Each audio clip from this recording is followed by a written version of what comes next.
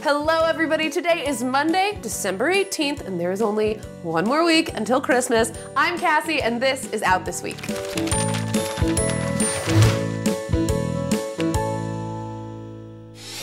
Invincible number 143, part 11. I'm gonna say that one more time for the people in the back. Part 11 out of 12 of The End of All Things is coming out this Wednesday, and this is the one Mark learns he has a son. Good news is his son kicks ass. Pick this up and get ready for the grand finale early next year. Also dropping is Horizon number 17. Lincoln is here to teach the Valians an important lesson, a lesson that Zhia Malen must learn at a cost. And finally, the second issue of our newest book, Evolution, is dropping. As we learned in the first issue, something is happening to humanity all over the world.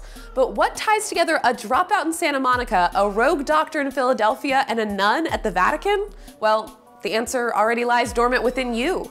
Don't miss out on our new book. It's full of lovely, gory, weird goodness, all for your eyeballs.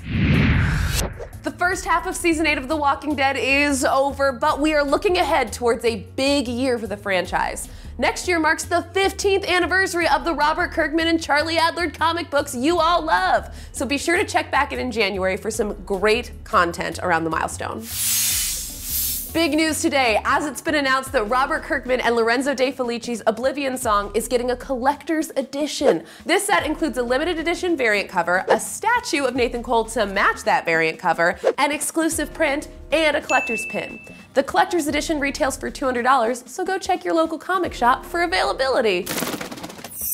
That just about does it for us this week. If you haven't already, go to AMC.com and watch each episode of Robert Kirkman's Secret History of Comics. Make sure you like and subscribe, comment below, let us know what your favorite comics of 2017 are, and we'll see y'all on Christmas Day.